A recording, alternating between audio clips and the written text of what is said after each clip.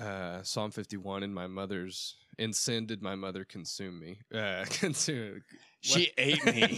what's the what's the Conceive. word? Conceive. In Oh, sin, man. in, in, in sin She ate me with the- Man, Uh, cannibalism is a sin. I did not so- know you were going there.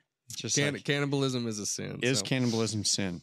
he had a stepdaddy, He did. Joey.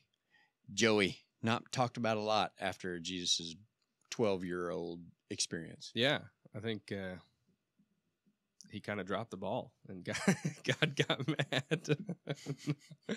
no, I'm just kidding. Second, after you let my boy go to the temple and you were gone for a few days, you left him there. And It's just like- Jesus, Jesus even stuck it to him. He's like, "Didn't you know I had to be in my father's house?" and did Jesus just fast for three days? Oh, I'm sure they had food in the temple. You're not supposed to eat the food in the temple.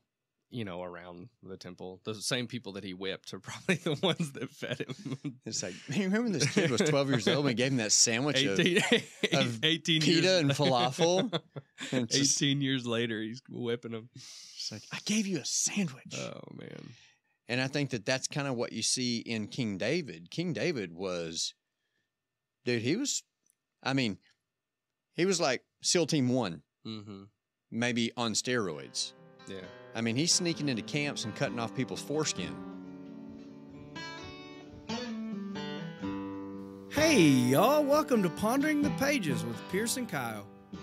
Hey, y'all. Welcome back to Pondering the Pages with Pierce and Kyle. Hey, I'm Kyle. And I'm Pierce. So, Welcome back. I had a realization this week. Oh, man.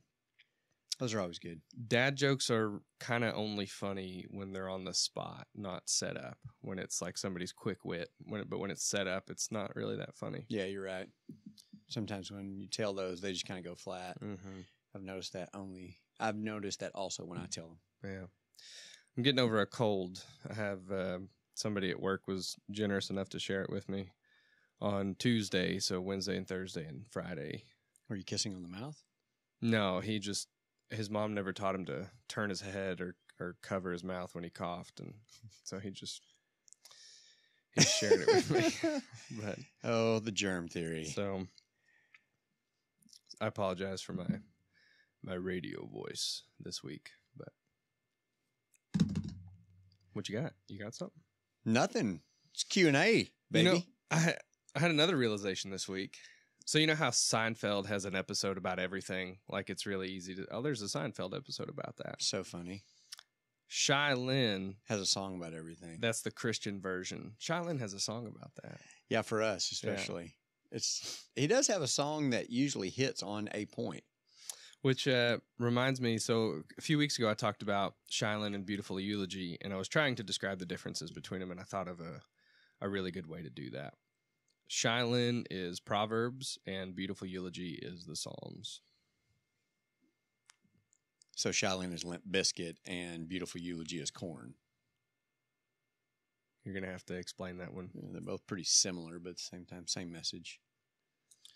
Okay. You had to listen to it. Yeah. I mean, I've heard Brian Welch was uh, one of the singers, maybe the lead singer of Korn.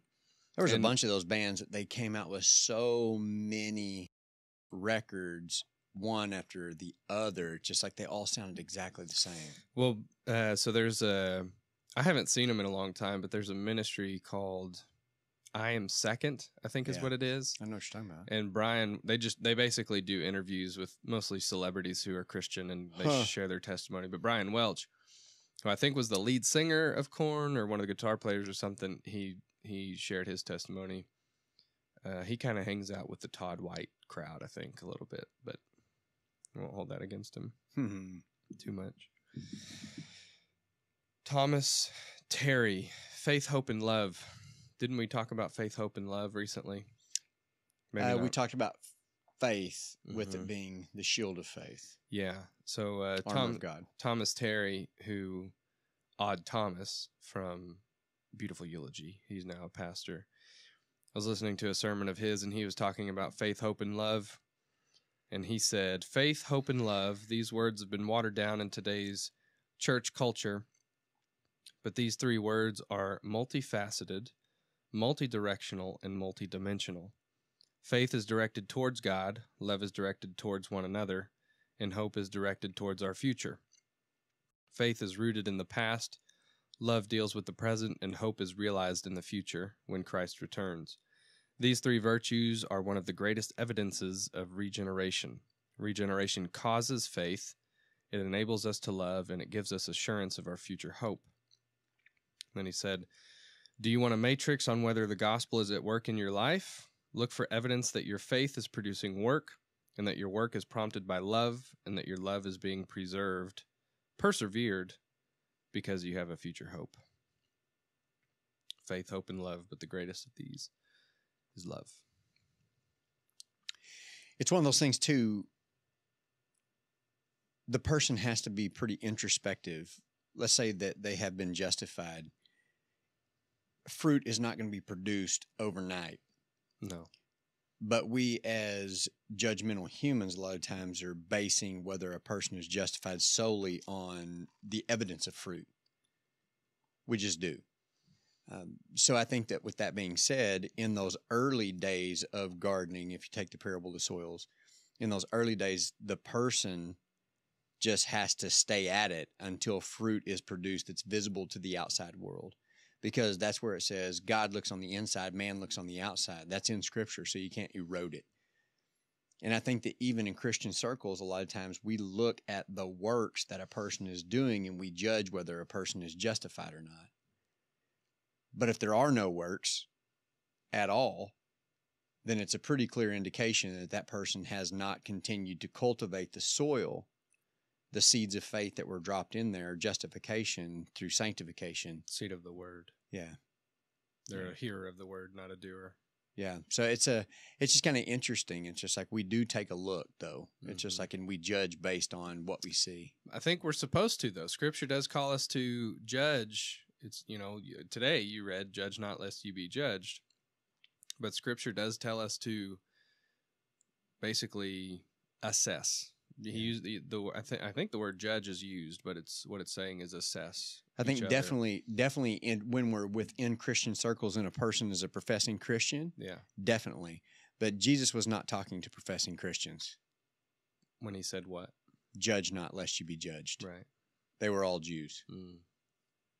So I think that if a person is a professing Christian, then I think it is our responsibility to hold them accountable to the scriptures that basically say this, this, and this, which are going to be the epistles in the New Testament. Yeah. But I mean, he was on the Sermon on the Mount. There were I mean, Mixed crowd. well, there weren't hardly any. There were people Hardly who what? people who believed in him. You know, they followed him because of the signs and the miracles, but Well, they didn't have the Holy Spirit. Mixed crowd. There was probably Jews and oh, non-Jews. yeah. Or do you think they're all Jews? I think mostly Jews because Yeah. of where they were. Yeah, that's a good point. They were mostly Jews. Yeah. uh, Jews that were probably even ostracized by Judaism Mhm. because of their uncleanliness or because they were wine drinkers or this or that. Yeah. So I think that most of them are Jews, probably. I mean, where the Sermon on the Mount took place, Matthew 6, Yeah. it would have been Jewish culture. It's a good point. But I don't know, just interesting how critical we are of other people, whether we know that they're justified or not. You know, if they're justified, I think that we can disciple them Mm-hmm. But if they're not, it's kind of hard to disciple somebody who doesn't have the gift of faith. I had uh, somebody shared an interesting perspective on that with me one time. They said that, I believe it was Philip. They said that um, discipleship almost starts, possi- possibly not every time, but in some situations, almost starts before the saving faith happens. If you, Hmm. and I think kind of the position he was coming from was was living out the teachings of Jesus in a way that impacts those around you and uh, it can it can have an impact on somebody and they can almost begin to want want what you have and and eventually that can lead to their uh, being saved and they will have the groundwork can potentially be laid at that point. I didn't articulate it nearly as well as he did. I didn't make it sound very clear, but I think, think I you, you get what what I'm trying to say.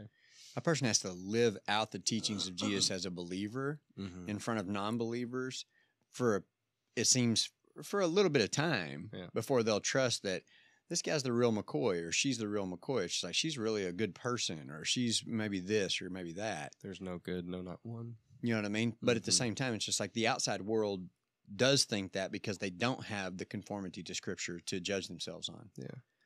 There's a there's a song by Shai Linne. no, it's not by Shai Linne. Oh, beautiful I eulogy. Tricked you. No, not by them either. Limp Bizkit. Hazakim.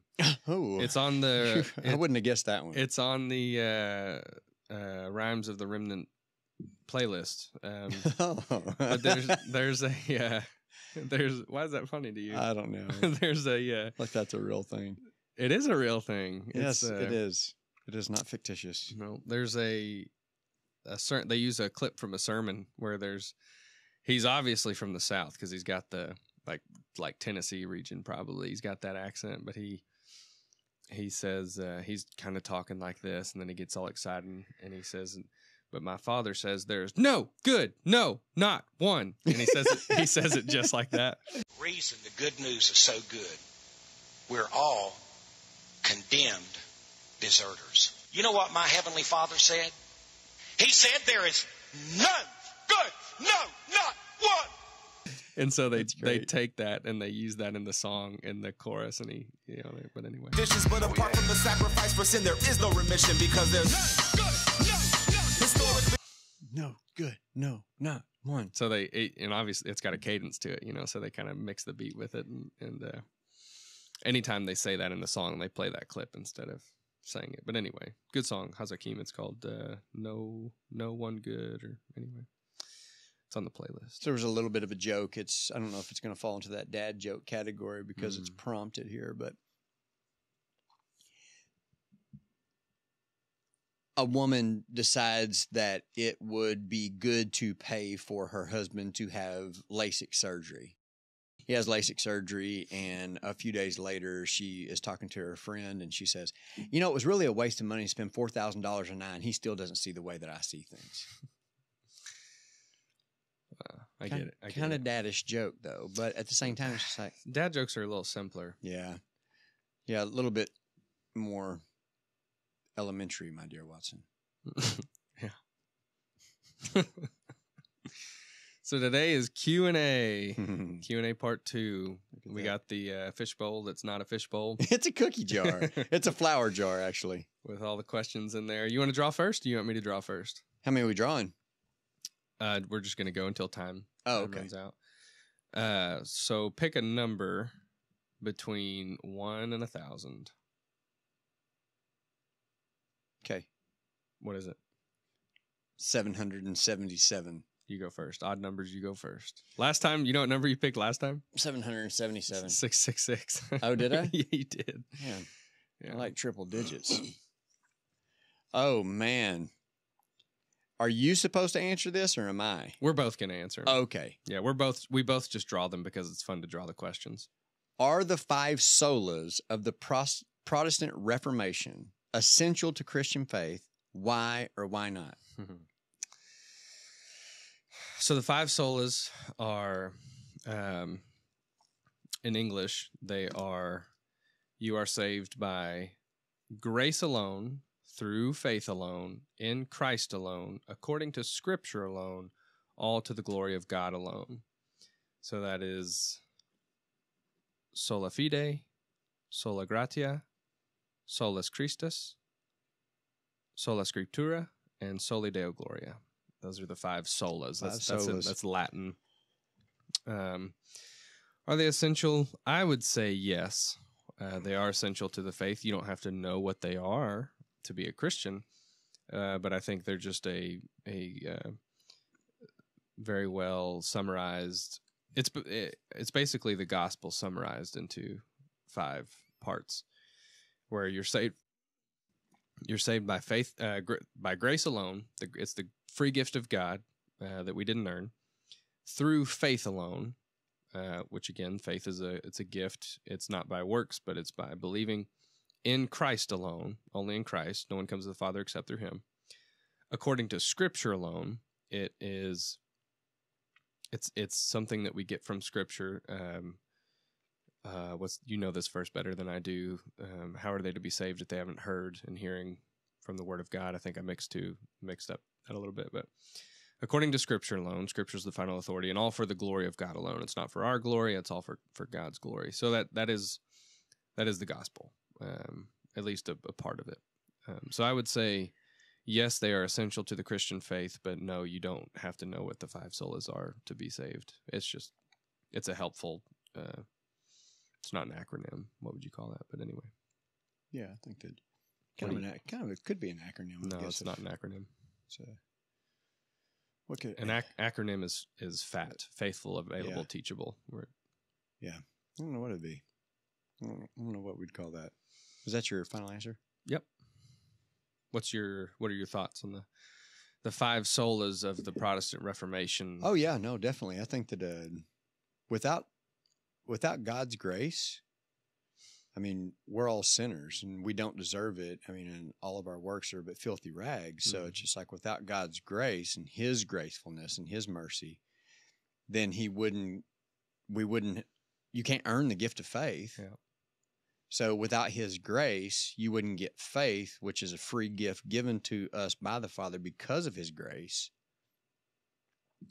and then the scripture and that's faith in christ alone Yeah. it's just like in the death burial and resurrection of jesus you Mhm. can't leave the death burial and resurrection of jesus out of the gospel or it's not the gospel right. so i think in christ alone um, and i think that the scripture is you know Second timothy 3.16 all all of the bible is inspired by god for our becoming more like jesus for lack of a better term. That's changing it a jot or a tittle but at the same time you get what i'm saying. Yeah. it's the entire thing old and new testament. You you can't have the new testament without the old testament. You can't have the new testament without the old testament. You just said that twice. well that's what i meant. It was it was emphasis. Yeah. uh, and then I think that obviously the chief end of man is to glorify God and Him and, and to enjoy Him forever. So I'd say that God's glory is the whole crux of it. The reason that we, during our sanctification process, make choices that we do should be either the motivation should be to glorify God. Is this going to be, is this going to glorify God or is this not going to glorify God? Yeah. And when you come to that, I think it's Deuteronomy 30. It says, I put before you life and death, in a sense, life and curses. Uh, choose life. Mhm. So I think that life would be glorifying God. Um, I think that that kind of goes to the scripture all things are permissible, not all things are beneficial. Um, if you wanted to have a glass of bourbon tonight, I think that that is permissible. You cannot lose your salvation over doing things like that. But would it be beneficial? Mhm. Would it glorify God? Yeah. And uh, if it's going to be a stumbling block for somebody else or even yourself, if you have a problem with alcohol, that is not glorifying to God and you should abstain. Yeah. So, yeah, I'd say they're definitely, I mean, I don't think that they're the only things that are important no. to the Christian faith, but are those five things important to the Christian faith? Yes. Yeah. Um, and Shai Linne has a, a song with Timothy Brindle. Imagine where, that. Where uh, they, it's I've heard this line in a few songs. I, I think they recycle a couple of lines, but this one was, Like Eminem songs or? huh? Oh. Okay. But- Eminem songs. I said Eminem songs. Yeah, I don't I don't know where you, what you're but anyway. So so grace, they it's uh God's it was they this was an acronym. It was God's what was it? God's redemption, God's what was it? I can't remember what the R stands for, but it's God's like What's the acronym? grace. Oh. God's redemption or something whatever the R is at Christ's expense. Praise the Lord, I'm just a sinner saved by grace. Yeah, define grace. Our redemption price immense. Grace stands for God's riches at Christ's Yeah. expense. Basically because of Yeah, what it makes Christ sense. did. God's Yeah. redemption at Christ's expense. It's not redemption. I can't remember what it is, but anyway, that was- Reconciliation, maybe that was it. restoration. Maybe a lot of good R words. Um, next question. Do you have anything else to add on the five solas? Hmm. Nope. If uh, I'm not wearing it today, but in a lot of the older episodes, my black hoodie that I wear often, the five solas are on that little Easter egg for you all to go look at. Little Easter egg. This is a good question. Ooh. Did Jesus take on our sin nature? It's not, did Jesus take on our sin? Did Jesus take on our sin nature? I'll let you start. Let me think about that for a second. I would say no I would say no. I because mean, it- It- otherwise, he would have been sinful. right, yeah, the sin nature is is what it's not what makes us sin. Um, okay, I almost said it's what causes us to be tempted to sin, but Jesus was tempted, and he didn't have the sin nature. I know for a fact Jesus did not take on our sin nature. I can say that confidently. I am not confident. What's your scriptural fact? um? He made him to be sin who knew no sin. He made him to be sin Yeah. who knew no sin. Um, so the book that you talked about last week or two weeks ago, Chemistry of the blood. chemistry of the blood. There, well, that had to do with the virgin birth more, I think. Mhm. But, but uh, Psalm fifty-one in my mother's in sin did my mother consume me. Uh, consume.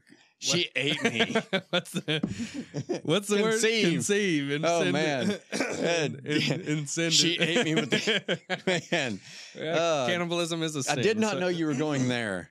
Just Can- like, cannibalism is a sin. is so. cannibalism sin? uh, in sin did my mother conceive me. Um, we're okay. Here we go. So Adam, in Adam, all die. Um, which is a scripture.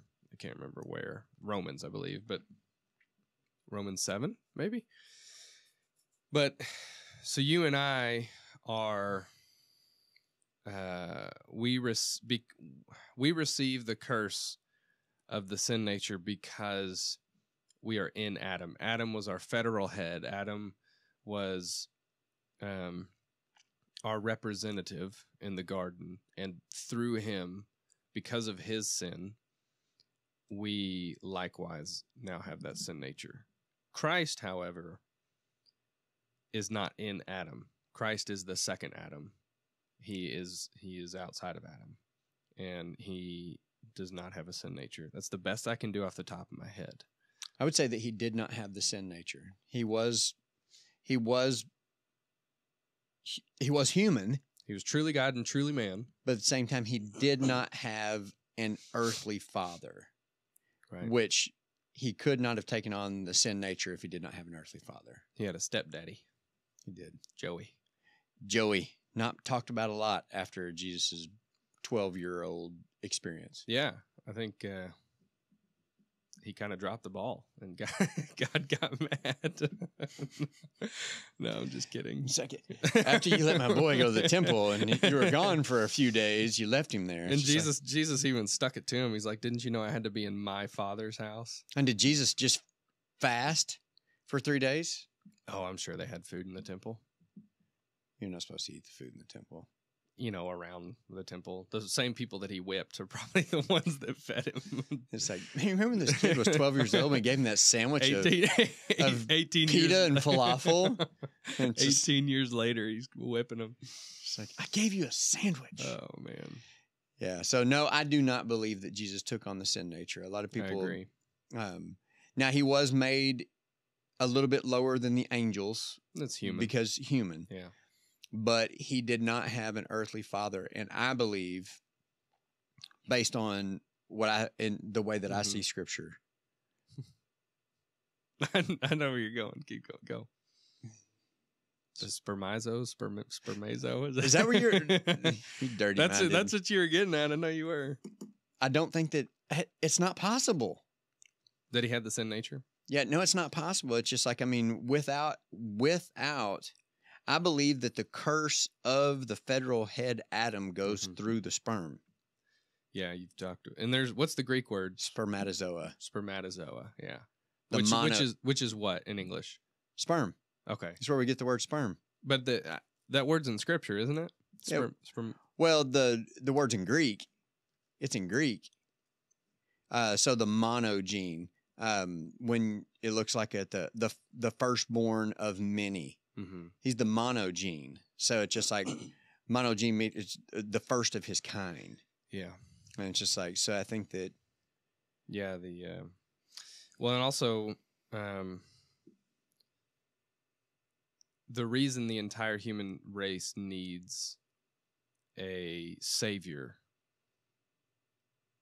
is because we're born into the sin nature. Uh, we have this sin nature. That's why you know Romans Romans 1 18 through 20 we're at, we're without excuse. Um it's getting into election a little bit, but basically everybody is because so when you talk about predestination, there's the common argument of double predestination, which says, well, if God predestined some for heaven, that means he predestined everybody else for hell. It's like he actively sent these people to heaven and actively sent these people to hell. Where that's a little bit of a misunderstanding. Where in reality, we're, because of our sin nature and because of our sin, we're all headed for hell. And elect in the doctrine of election would say that God chose to elect some to save from that destination that they're, that we're all already headed to. Whereas had had Christ not died for us, let's say he just lived a perfect life and wasn't crucified, uh, and then just eventually died, he would have gone to heaven. We would be out of luck, but he would have gone to heaven because he never sinned. Oh. So no, I don't think he took on the sin nature. I agree. I think he took on sin. hmm He he who knew no sin, he made him to be sin who knew no sin. Took on sin. It was a foe. What would you say to someone who still doubts his salvation after seeing its fruit in his life? Hmm. So the person has this person has seen the fruit of their salvation in their own life, yet they still doubt their salvation. Well, first I would say that the Spirit of God testifies with our spirit that we are children of God. I can't give you the chapter and verse, but that is in there. Be a good Berean. Look it up. Um, yeah, I don't know. I mean, it's uh, so a, a good piece of encouragement that I've heard from more than one pastor. If if you are if you are worried about whether you're saved or not, if you have that burden and you're concerned, like man, you're you're stressed about it, man, am I am I really saved? That's a that in and of itself is evidence that the Holy Spirit is is in you, that you are concerned. A, a, a non-believer is not concerned about the things of God. A non-believer is not concerned about whether they're saved because they don't believe in it. But if somebody is is concerned, like, man, am I am I saved? And you know, does God love me? Is, am I truly do I truly have salvation? I think that's evidence in and of itself that there's there's there's the Holy Spirit is working in your heart. Um, and I don't know. I think, uh, I mean, that's the that's the devil's tactic is, um, to con- to basically steal, kill, and destroy to convince you that God doesn't love you, that you're not saved. I mean, all these things that are counter, uh, that go against what Scripture says. All the things that God does and and has, uh, all the things that God feels for His children and does for His children.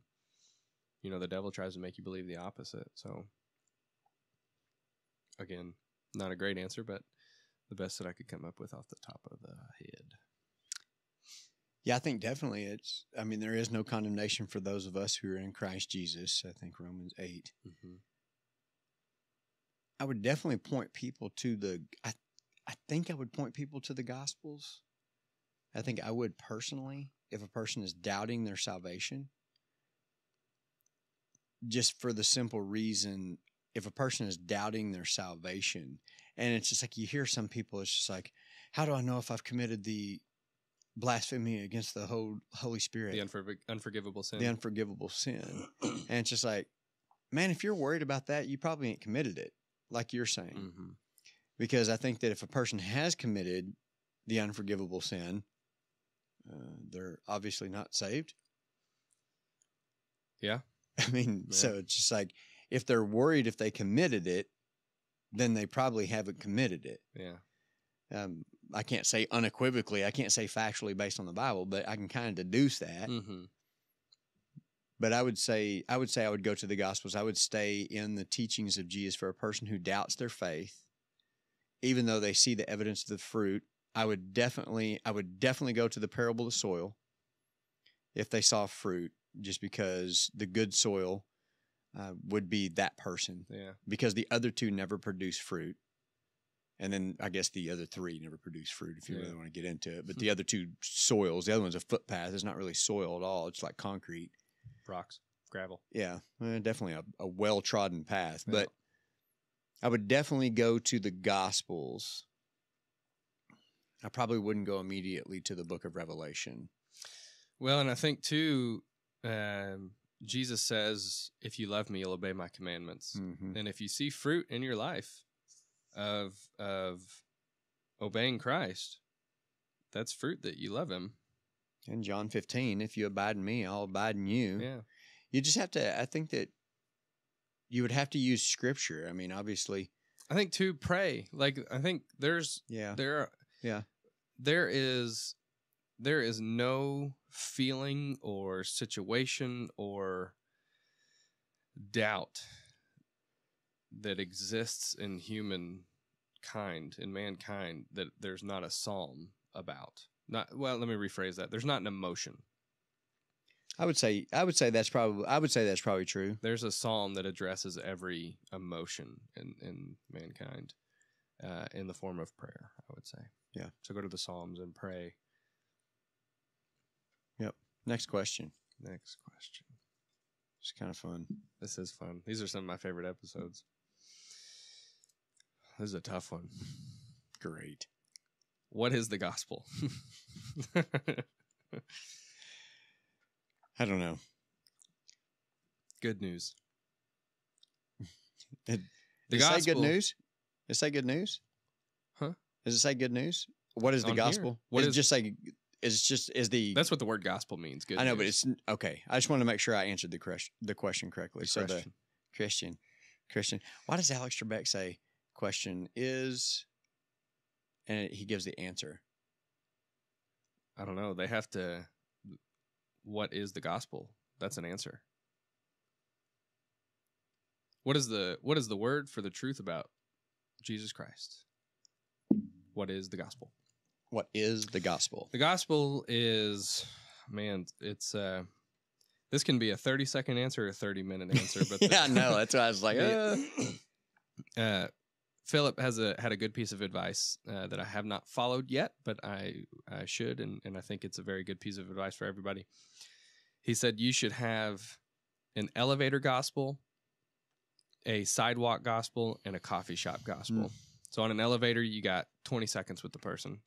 On the sidewalk, you might have two minutes. In a coffee shop, you might have thirty minutes. So you should have a, a gospel ready to go mhm. to share in an elevator when you got 20 seconds, on the sidewalk when you got a minute or two, and in a coffee shop when you have 30 minutes.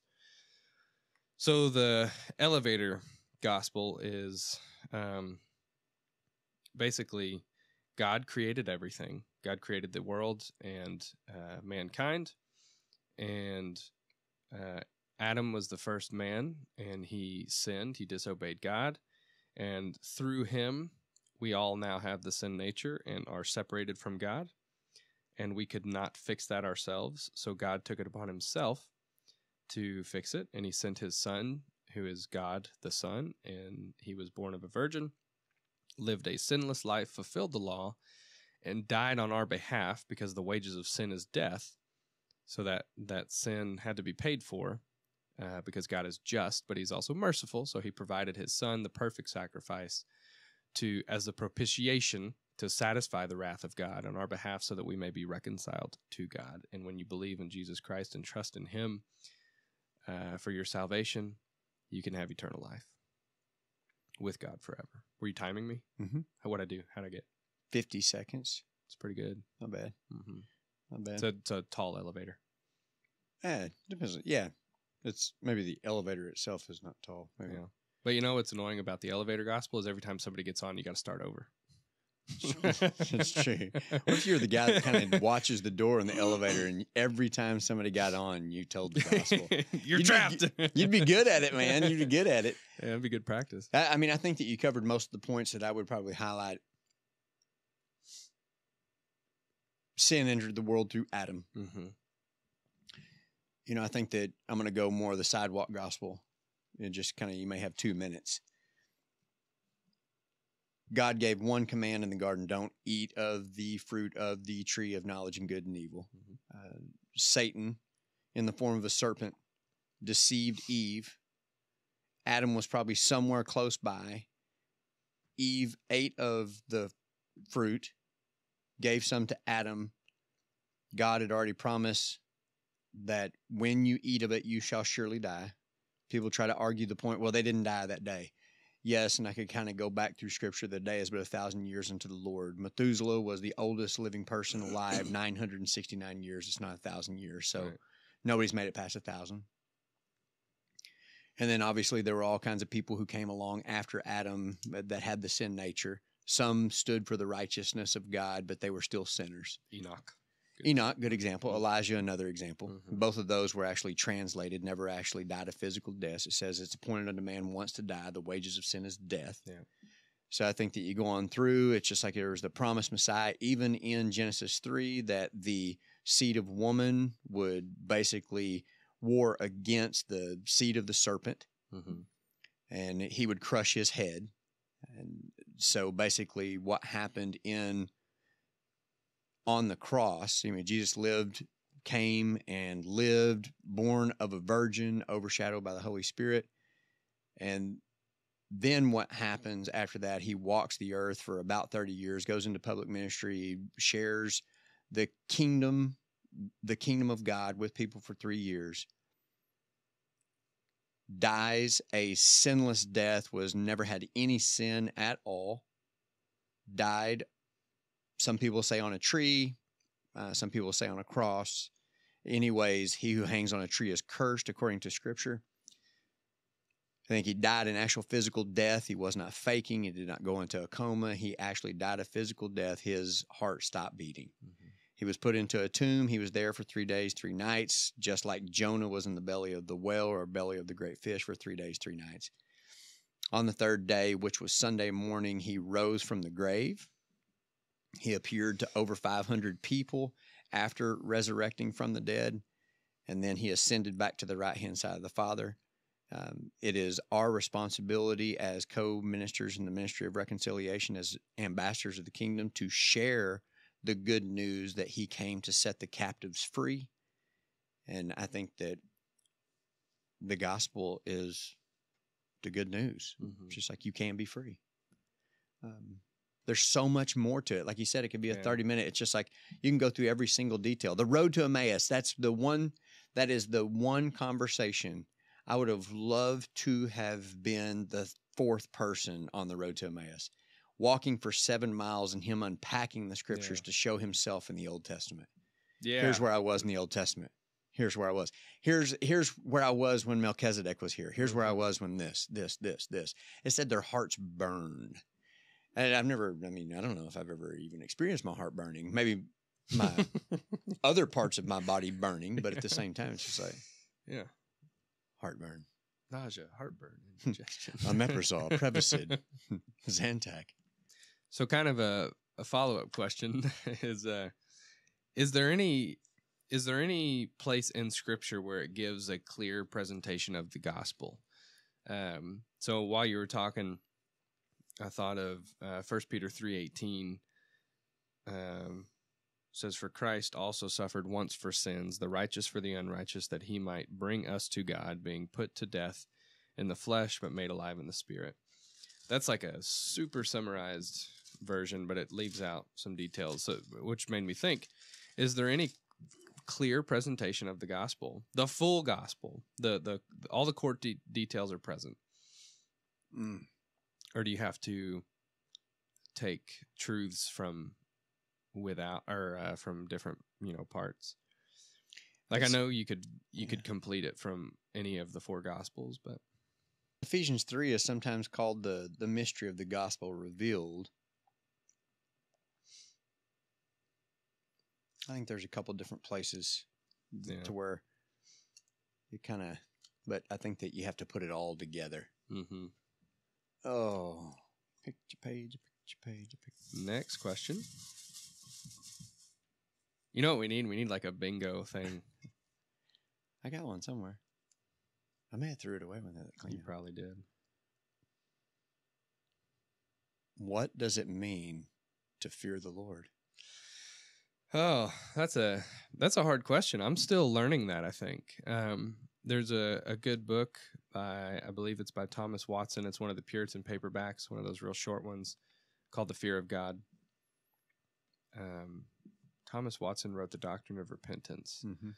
It may have been oh, it was John Bunyan, the guy that wrote Pilgrim's Progress. I think he was the one that wrote The Fear of God. But anyway, it's a Puritan paperback. If you just search that, you'll find it. The fear of God, well, the, f- according to Scripture, the fear of God is the beginning of wisdom, and I believe also the beginning of knowledge. Um, I think the fear of God is is multi layered. There is the side that we often emphasize, which is the reverence or respect for God. But I think there is also uh, it's also important to uh, touch on actual fear of God. I mean, um, when I was just reading this the other day in First Chronicles, when was it Solomon? No, it was David. When David became king, he wanted to go get the ark of the ark of the covenant, the ark of God, uh, back from the Philistines, and um, so they went and got it. But he did it kind of flippantly. He did it kind of just like let's walk in there and grab it, and we'll just carry it back really quick. And they were they had it riding on donkeys, I believe. Um, and it started they the donkeys hit like a you know pothole in the road or something and it started to fall. And i can't remember his name but one of the guys put his hand up and touched the ark to stabilize it and god struck him dead. And it it it actually it says that it made david angry. Um but it you know and then there's ananias and sapphira in in the new testament in acts when they lied about the amount of money that they got from selling their land. And Ananias went first and and he lied to Paul and Paul said that he lied to the Holy Spirit. God struck him dead, and then his wife came later and didn't know that it, her husband was dead, and she said the same lie and struck her dead too. And I think God did those those things to instill a certain fear. I mean, I th- I think there's a there's a healthy fear, not fear that like if I sin, God's gonna you know disown me and throw me into hell, but but don't fear the one that can kill your body, but fear the one who can kill your body and send your soul to hell. I mean, Yeah. there, there is, I think there's a place for fear. And I think a healthy reaction to that fear, not the reverence side, but the actual fear side, a healthy reaction to that fear is obedience. Now, I don't think, obe- I don't think that fear can maintain obedience, but I think that fear is a good reminder sometimes, uh, maybe a good starting point for some people. Um, you know, there's that question is it better to be feared or loved? And Michael Scott would say, I want people to be afraid of how much they love me. but I think it's both. I mean, I think, you know, fear and, and love, um, both are important. But what do you think? I don't know. I think that a lot of the the same things you just said, I would agree with those. I know that's kind of cliche to say, but I think that uh, from a human perspective, it we have if if you're a good dad and a good mom and you follow scripture that says that you're supposed to discipline your children, I think it is to create a a sense of respect or fear Mm-hmm. and not not fear like they're gonna kill me if I do something bad, or they're gonna beat me to where I'm not recognizable, or they're gonna Yeah. really hurt me. Just gonna But- paint your back porch red. But there's gonna be discipline. mm-hmm. I think it's and this is probably a bad analogy, but I think it's the same way if you have a big German shepherd that you raise as a puppy. And when he starts to disobey, if you as the alpha discipline him early, you may be able to sic him on other people, but he's kind of afraid of you. yeah. And I think that that's kind of what you see in King David. King David was, dude, he was, I mean, he was like SEAL Team One, Mm-hmm. maybe on steroids.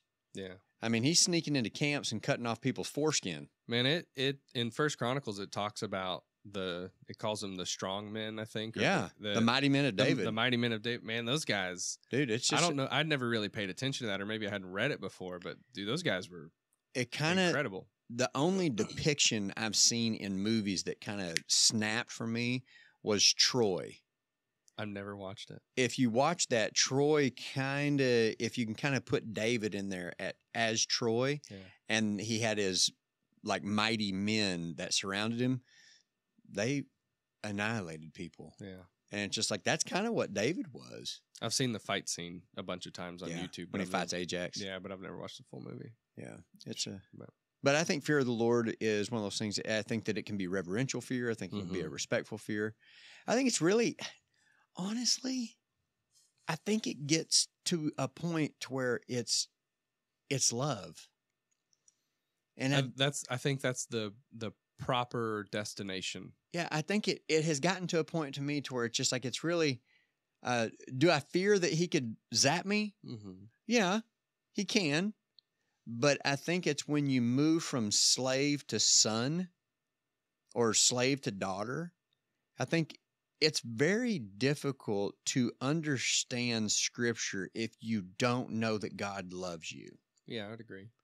And I think that that's where that fear resonates from. It's almost, it becomes, I respect him so much because he loved me enough to choose me Mm-hmm. that I want to love him back and I'll lay down my life for him. And that may not necessarily be walking in front of a bullet. That may just be making decisions that would glorify him. Well, and two, you know, if you think about what did what did Christ save us from? I'm asking you, what did Christ save us from? I mean, It says we're saved. What did we get saved from? From eternal destruction, Which is what? separation from God. Why does that happen? Why does, because the wages of sin is death. The wrath of God is what I'm getting at. The- Okay. It's the the hell is Yeah. the eternal lake of fire is the wrath of God. Yeah. That's Christ was the propitiation. He satisfied the wrath of God on our behalf. So Christ, when we when we talk about being saved, we're saved from God's anger. Yeah. And the, and it's I agree. so there's fear. We should fear God's anger. Romans 8 1, there's now there's therefore now no condemnation for those of us who are in Christ. We don't have to fear that anymore. Right, right. But fear is an appropriate aspect of of Yeah, I think it's the, if you're in Christ, you should not fear the second death, right. which is the wrath of God or the condemnation of Mhm. God. Yeah. And it's just like, for there is no condemnation for those of us who are in Christ Jesus. Yeah. Next question. Oh, this is a good one. John Piper would have some good things to say. Do you think that Christians long for heaven as they ought to? No. Elaborate. I think that we're so wrapped up in this world and what we can, the trappings of this flesh, that we don't even hardly ever think about heaven Yeah. or eternity. Mm-hmm. Even if you, if you, if you're saying heaven, you know, tribulation, going to heaven, and then coming back to a new heavens and new earth, I would say we don't think about that near enough. If we did, I mean, then our motivations would be changed. We wouldn't set the goals that we set if we were thinking about heaven. We wouldn't be thinking about, honestly, I mean, I wonder sometimes, and I, I know that this is very un American, would, would we even ever take vacations? Like destination, all inclusive resort vacations if we were so focused on heaven? I, I don't see I don't see anything in scripture Yeah. that people would set that as a goal. I'm I'm guilty. I set those as goals. I'm going to the beach in in August. Mhm. You know, I'm going to go catch some fish and I'm going to eat that fish and I'm going to you know play around on the on the beach or whatever, but at the same time it's just like I think if we're focused on heaven and I'm guilty. Well, I see where you're coming from, and I agree. But I, I to to uh, throw you a bone or to kind of bail you out a little bit. I think Enjoy him forever. that, but I, th- I think too that um, you know where God God created things in a way that we God gave us taste buds. He didn't have to give us taste buds. We could have we could have just eaten nothing but healthy foods for fuel and fu- and eating be a chore and not be Yeah. uh, you know a, and sometimes a pleasurable experience. But so God God allows us to enjoy things, and I think God, um, you know, there's nothing wrong with Oh. with enjoying those things, but it just comes down to stewardship principles. It's like he Mhm. says, store up not for yourself treasures here on earth, but Yeah. store them up in heaven. I think it's the same thing. It's not a it's not a sin. That's what I was gonna. Yeah, it's it's where your heart is. It's, Yeah. it's It's not a sin. right. Yeah, But if you start to store them up for yourself, then I think that it becomes it can become sin. yeah. And uh, so I, I started reading that book, um, "Come Lord Jesus" by John Piper, where he talks about the second coming of Christ um, and how we should long for that. And he starts the book with Second Timothy four eight. Henceforth there is laid up for me the crown of righteousness, which the Lord, the righteous judge, will award me award to me on that day, and not, not only to me, but also to all who have loved his appearing. And he talks about how this crown of righteousness is going to be given to those who love the appearing of Christ. And then he makes the argument it's very difficult to believe that someone is a Christian if they don't love the second coming of Christ. If they don't if they don't long for that. Now, he does I believe he does make an important distinction. There's a difference between new ignorant Christians or even old ignorant Christians and Christians who who who now should know that Christ coming back is a good thing. I consider all things lost. Like I'm just I'm ready. You know, I'm I'm happy with the life that God has given me and I'm going to serve him the best that I can while I'm here and I'm mm-hmm. not you know trying to be a downer. But ultimately this life is we live in a fallen world and I and I want Christ to come back to set us free. The creation groans for him to return and, and to set set us free. So we ought to long for so I would I would rephrase the question a little bit. Do Christians long for the return of Christ as they ought to? Um, do we long to be in God's presence as we ought to? And I I, I would say no, we don't. Um, and we should. You know, the the things of this world, all the joys, the greatest situation, the greatest pleasures, the greatest joys in this world are so small and insignificant compared to when we are fully reconciled to our creator and our father and and it's Yeah, it's if we could meditate on that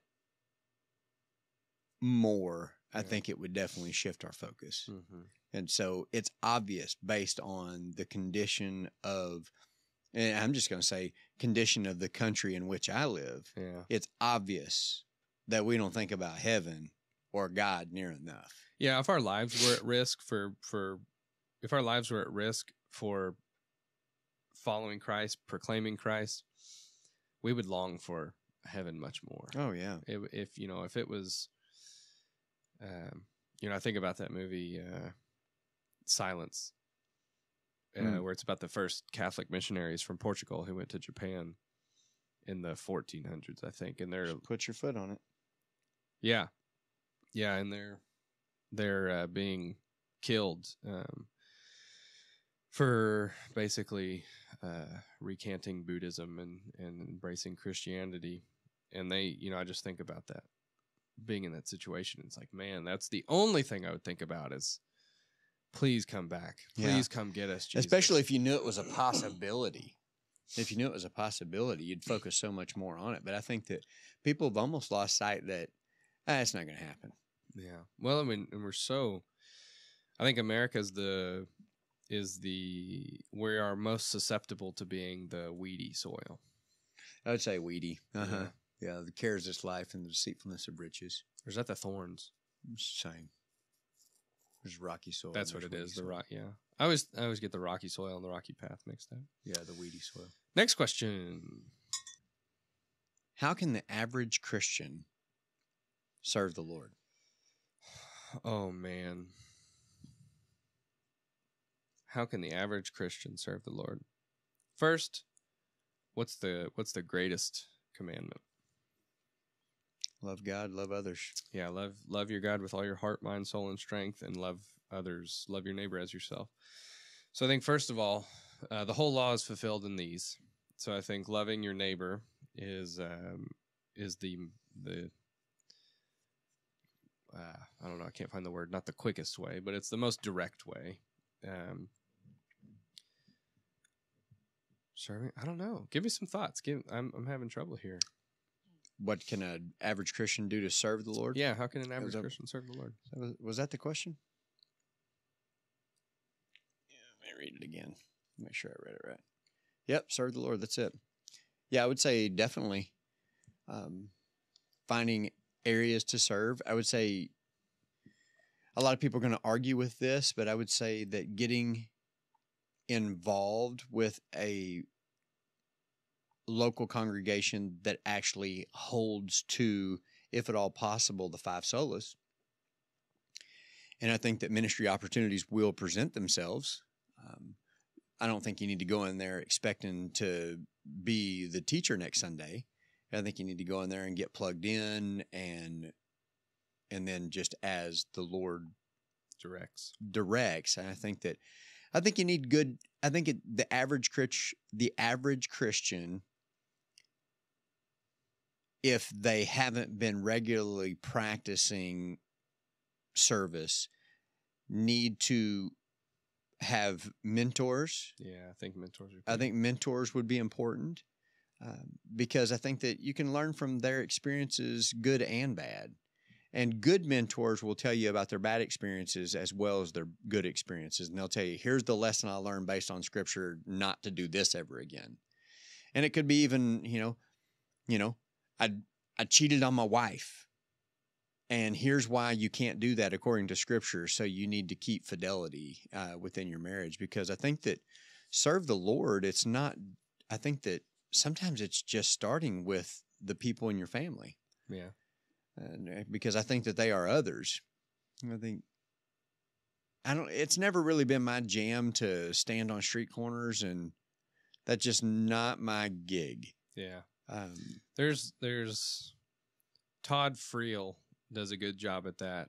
He's the guy from Wretched Radio. hmm, He he does a good job at that. He, I think he goes to like college campuses and stuff. But like I like I and I'm not ragging on him or anything. But recently on the corner of zero. zero and seventy one, which turns into Mhm. what is that twenty fourth Right there at Walmart. Mm-hmm. There was there's a group. I don't know. I I don't think they were Mormons. They all had the white shirts on, long sleeve shirts. But uh, was that Church of God or Assembly? Not They're- Assembly. they're- but They're Baptist, I think, most But- of those.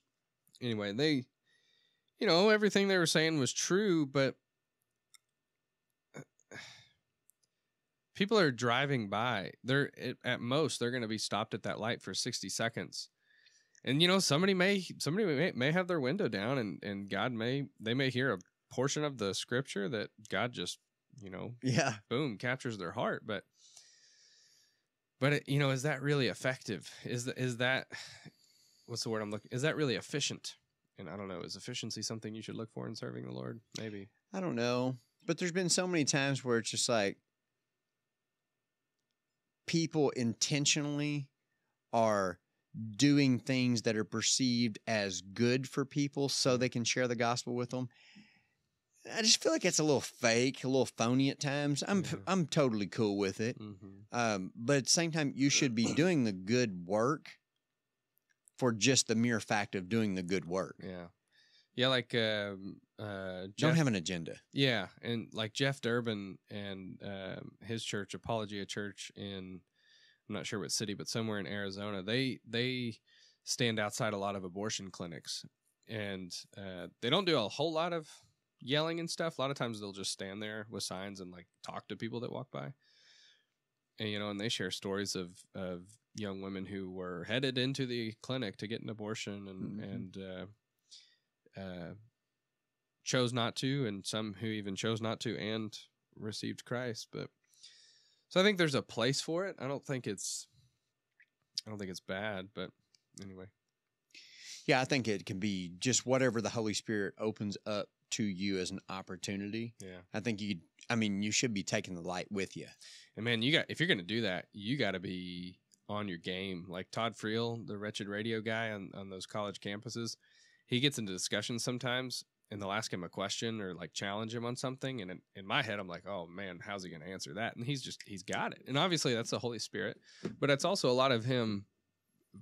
You know, feeding his brain and his heart with the word so that it's Oh, there. yeah. But the you know, That's his call. you're so. you're not gonna you're not gonna read the verse of the day and you know four days a week and then go out there and be able to answer questions on the spot. It's just it doesn't happen like that. Uh-uh. Oh, this is a good question. Oh man. Is it okay to have images or depictions of Christ? So I think where this question is coming from is like pictures in your home, paintings in your home, or uh, you know, in movies and TV shows where they they um, there's an actor who plays Jesus. Uh, there's a and this is a this is of all of the discussions that happen within Christianity, this is a fairly lighthearted one, but there is a, di- a discussion between two camps of is that violating the second The graven image. yeah the second commandment don't have a graven image Mhm. um, is that a, a golden calf so to speak uh, having an image of christ um, so like in some movies i believe it there was the the gospel of luke or the gospel of john a movie that was made in like the 60s or the 70s where the person who played jesus they only ever showed the back of him they never showed his face Hmm. Um, because of that because of the second commandment so so is it okay to have images or depictions of christ I think that we know for a fact that every image or depiction you have of Christ is a false image. right So we have to start with that being the basis of, of that particular question. No one knows what Jesus looked like. mm-hmm. So any picture that you make of him is not going to look like him. So I think that I think it teeters on breaking the second commandment, which is having a graven image. Uh, it would be better not to. Mm-hmm. I think that you would be better. It, like I think probably, even though crosses are, you know, obviously the cross is depicted as an instrument of torture. Yeah yeah that's kind of It's like it's, it's like well, walking say- around with an electric chair yeah, exactly. Death row records. You know what I mean? It's just Yeah. like so. I think that with that being said, it's um, oh, it would probably be better not to. yeah Being honest with you, I think just kind of the same thing. It's just like there's there's liberty in that. That's one of the things that Jesus came to purchase was liberty. You know, I think that liberty in the form of you know, it's just like if you see something in Scripture and you're convicted by it through the Holy Spirit that you shouldn't do it, then that's work out your salvation through fear and trembling. I think or that yeah, this be, is be fully convinced you yeah, know. I mean, it's kind of like um, you know, do you worship on Saturday? Do you worship on Sunday? Do you eat meat? Do you not eat meat? you worship every day kyle and scripture actually calls vegetarians weak Yeah, it does I know. It's just like, and it's. I mean, somebody's gonna say no it doesn't i'm gonna find it keep talking i'm gonna find it well, I think that it, something definitely changed in in man after the fall because they were definitely vegetarians prior to, but at the same time afterwards, it's like they became they became omnivores. Yeah, they they definitely didn't become solely carnivore, and they were not herbivores anymore. Romans 14:1 Now accept the one who is weak in faith, but not for the purpose of passing judgment on his opinions. One person has faith that he may eat all things, but he who is weak eats only vegetables.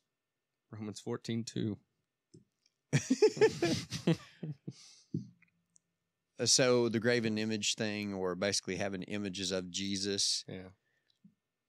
I guess. I mean, I guess to each their own, but I mean, Yeah, I mean, I, I agree with you that uh, well, that's one of the things that Christ came to to um, accomplish for us was give us liberty. But if it is, because the argument on the one side is that it's breaking the second commandment, and Christ did not purchase us liberty to break the Ten Commandments. no, absolutely. So if it is breaking the Ten Commandments or the second commandment, not all ten of them, but if you broke one, you've broken them all. You'd probably be better off not to have them than have them. Yeah, yeah, and two, if you you know if you uh, um, Scripture gives descriptions of Christ, not physical descriptions, but of who He is.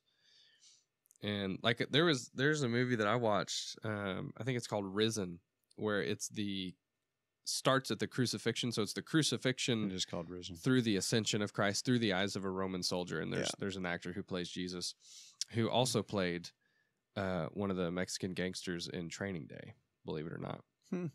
but he um, there's like a scene in the movie where he um, this this Roman soldier is like following the Christ and his disciples after the crucif- after, after Christ has been raised from the dead.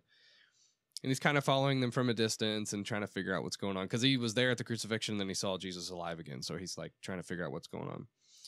And there's a scene where it's nighttime and he's kind of up on a cliff away from them. They're down by the campfire and Jesus approaches him and has this private conversation with him. And I can't remember anything that he says, but I remember thinking like, man, it would be so cool just to like sit underneath the stars and have like a private conversation with Mm. Jesus like that. But for a long time, for a few months after I watched that movie, every time I thought about Jesus, I pictured that dude's face, who also plays a Mexican gangster in Training Day. Hmm. So it's you know it was kind of it's not it's not the picture of Jesus as Scripture uh, no. paints, but anyway, How can I talk about the existence of God with someone who refuses to listen to the Bible or doesn't believe the Bible is reliable or true? that's a tough question.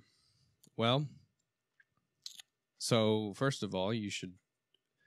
I think there's a now here. I'm going to say what I'm going to say, and then I'm going to explain myself a little bit. So you should try to do it without using scripture.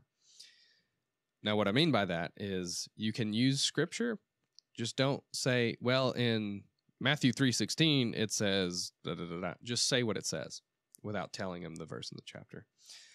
Um, I learned that from Voddie Baucham's book Tactics, how to how to uh, how to practice apologetics. Hmm. Um, That's a good point.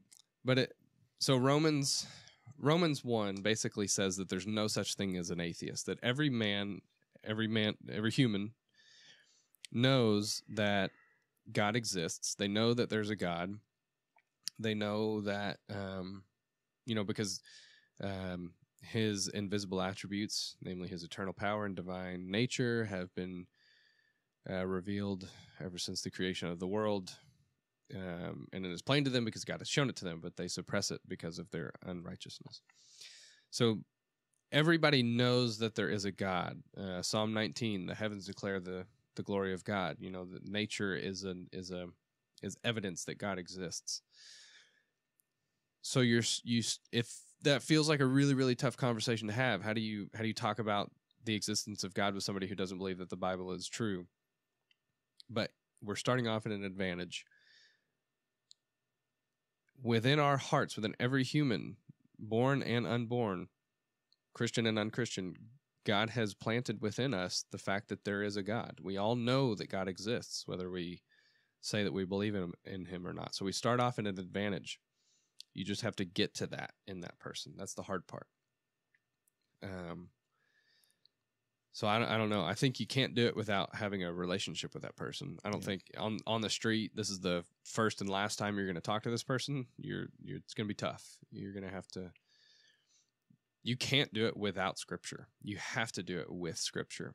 But I think using Voddie Baucham's tactic of don't don't tell them you're using scripture. Just use scripture as Yeah. as if you're just talking, you know. I think definitely kind of like what we talked about this morning. And I think that I think that I'm pretty decent at this as far as finding common ground with people just because I practice it for such a long period of time. It's just just start with questions. People answer questions. Mm-hmm. And you don't make it just overly invasive, but at the same time, it's just like you can. And I think that that will be apparent in that conversation. How how invasive can you be? You know, what are you doing now? What are you what are you doing for work now? You know, just kind of and then going into those conversations because if you live in and around the same area and you don't know this person, there is going to be what they call a concentric circle. So you're going to their two circles are going to intersect at some point in time. Venn diagram. Yeah. So I think that when that happens, then you highlight that point, find common ground, and a memory then comes from that common ground. And I think that that's when that's when you can kind of throw that's when you can kind of throw scripture out there without quoting scripture, but you got to know scripture. Yeah. You got to know scripture. And that's why it's so important. If you really care about a lost and dying world, you would know scripture. Because if you don't know scripture, you're not sharing the gospel. Mm-hmm. You're just sharing what you're calling love. And there's a difference between you just loving people and you actually sharing the gospel. So I think that we must know the scripture. Now, it's obviously a good thing to show love. I mean, give a person a cup of cold water to your enemies, and it'll be like pouring coals of fire on their head.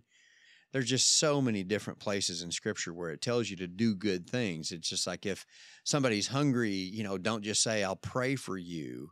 uh, be warm and well fed. Give them something to eat. Give them some clothes. You know, go the extra mile. Jesus would say, if a Roman soldier compels you to go one mile, you go two, proving that you're my disciple. Uh, this is how they would know you're my disciples by your love one for another. I think that that kind of goes without saying that we do those things, but I think it kind of gets to the point, and there are some extra biblical texts, uh, such as you know we've alluded to the chemistry of the blood and different things, and you can start to have conversations. But sometimes things like that will take you into a rabbit hole. Yeah. And you got to be careful with rabbit holes, especially depending on the situation.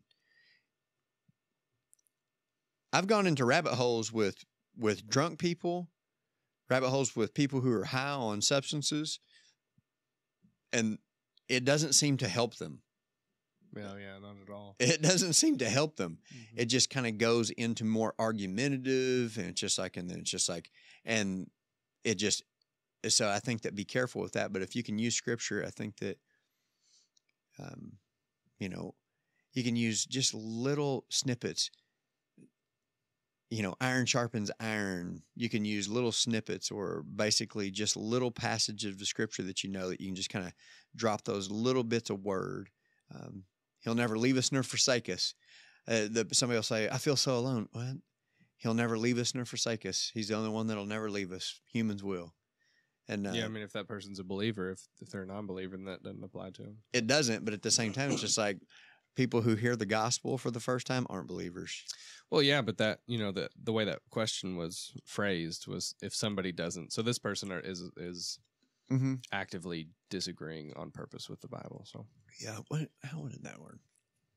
They don't believe in the reliability of the Bible, right? that was part of it. I think it was kind of two twofold.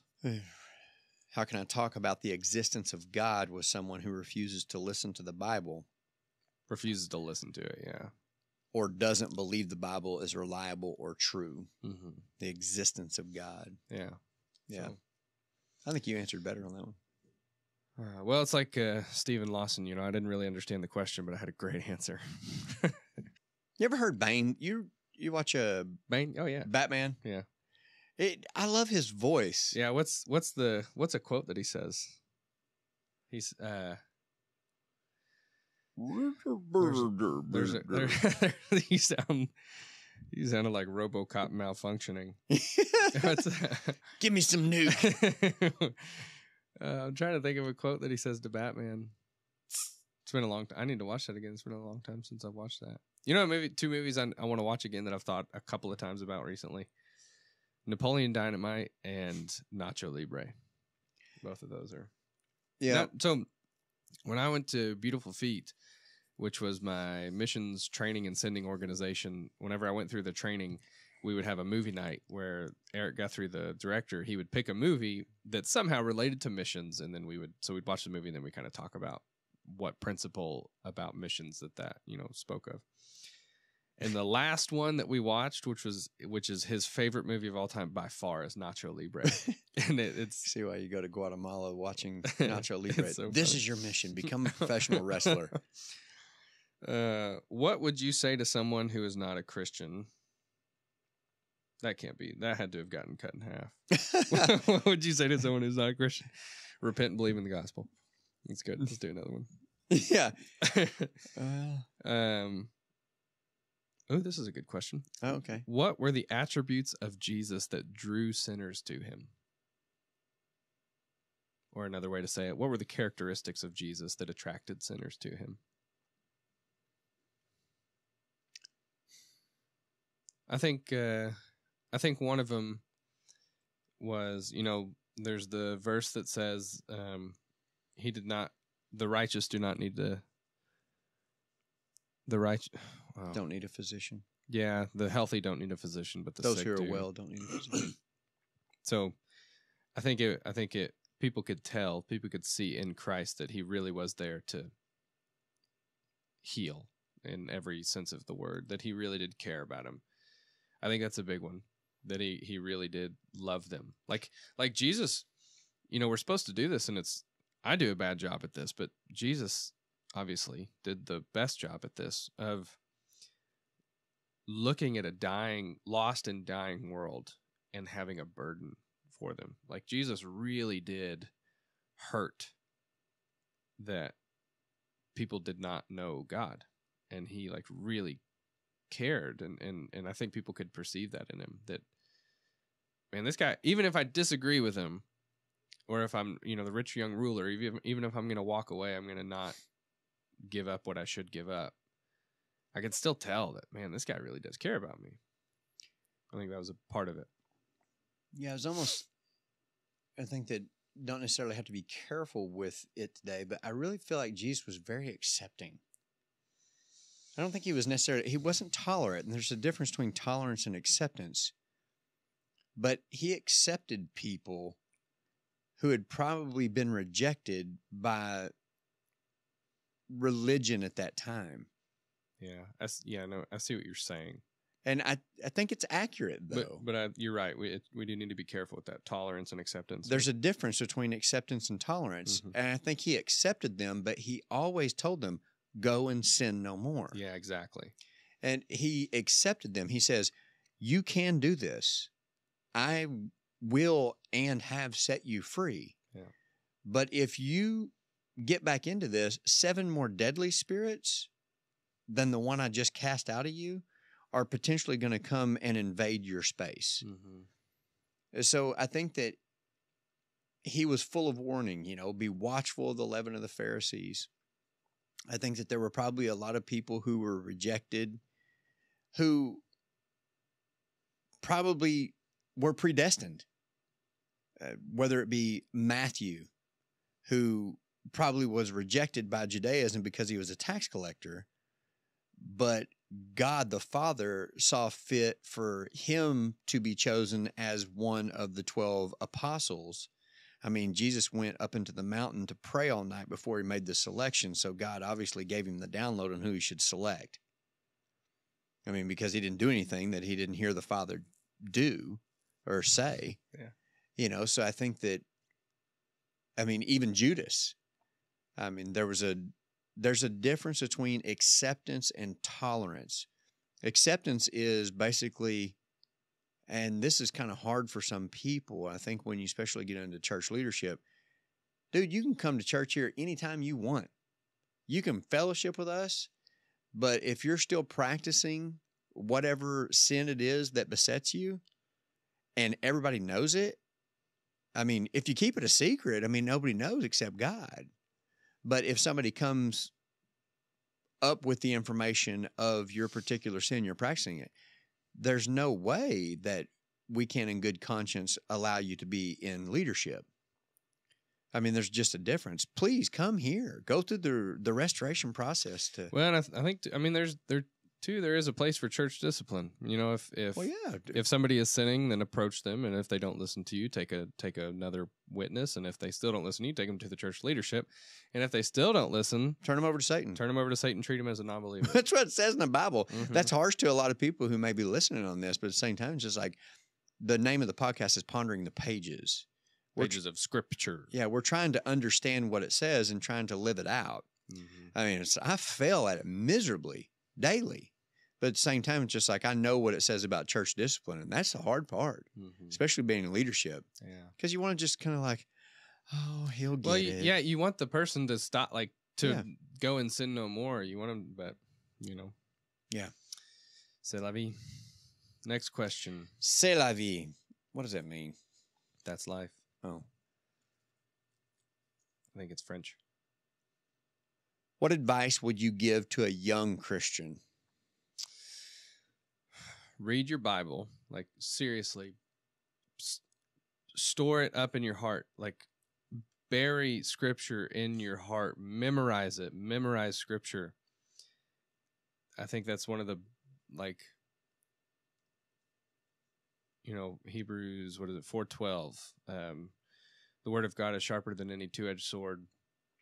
The word of God it's it's how you do spiritual warfare it is how you know who god is it's how you learn more about god and who he is and who we are and and how we relate to god it's how you learn who christ was on this earth and how to be more like him i mean scripture is is everything. So memorize scripture.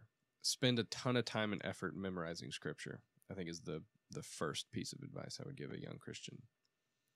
Which I'm giving that to myself. I still am a young Christian and I'm I need to do that more. I'm working on it though. I think I'm at uh on the on I'll give a quick recommendation here to an app called Bible Memory where it helps you memorize verses. I'm at 89 verses right now. That's a pretty good. Uh, that's been a pretty good app for you, hasn't it? Yeah, Philip recommended that to me years ago, probably 2014, I think. So getting going on 10 years ago, and um, yeah, but yeah, it's it's. Uh, I couldn't spout them all off right now in a row, but they're in there so that the Holy Spirit can has a pool to draw from. You know what I mean? Yeah, I would say. I would say scripture would be number one for me. That would be number one. Number two would be if you're a female, find an older female that is not a young Christian. What if you're a male? You find an older male. Oh, okay. or i mean it's just like i think that you know that it's pretty clear in scripture that if you are the older women are supposed to give advice and instruction to the younger women i don't think that as a young christian if you're a young female christian i don't think that you should seek an older male as a mentor i think it it Unless sets it's, you unless it's your dad. Yeah, yeah, no, uh, yeah, absolutely. That's a that's a great point. That's a great point. Uh, but in in ministry, I think that it's one of those where it's just like it sets you guys both up for too much temptation. Yeah. Uh, because the other one is in spiritual authority. You're putting Mhm. them in a spiritual authority place, and unfortunately, the sin nature exists, and they can abuse that. Well, and and not even that. Well, like on top of that, even if even if that wasn't an issue, accusations from outside and things like that that can that And can, emotional attachments Yeah, happen. Yeah. Um, so it may not even be a, uh, it may not even be a sexual thing that happens, but there can be some unhealthy emotional attachments that Mhm. happen there. Um, so I would say, number one, scripture. Number two, find a find a mentor. that's what. Oh, okay, yeah. Yeah, find a mentor. And number three, drink a lot of water that's coming from and the, coffee. that's coming from the medical side. It's a good question. Is that yours? Yeah. You draw that.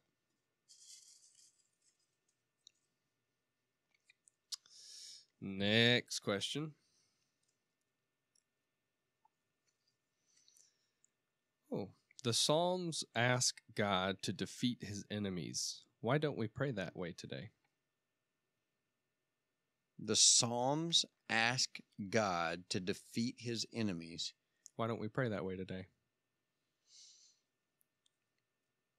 I think in our context, we are so oblivious to the spiritual warfare going on. And not, I'm not even talking about like the the demon possessions and things. I'm just talking about the day-to-day temptations that happen um just the small things, you know, when when uh you got home, you've had dinner, kind of got an hour or two to end the day. Do you read scripture? Or do you watch TV? Just those little things, those little small Mhm. decisions. Um, I think we're just oblivious to that spiritual warfare. agree with that. I probably, just being honest, I probably, I don't ever do that. Yeah, I don't, I don't either. So I need to, I think that this is kind of correction for me. It's just like maybe I need to, or has through what Christ did already defeated all my enemies. Mm, in an ultimate sense, yes, but in a practical sense, right now, Yeah. mm, he, the victory has been won, but the battle is still going on. Yeah. Well, I think that after after the death, burial, and resurrection of Jesus, you know, the book of Ephesians was written. You're not fighting against flesh and blood, but the powers and principalities in heavenly places. Yeah.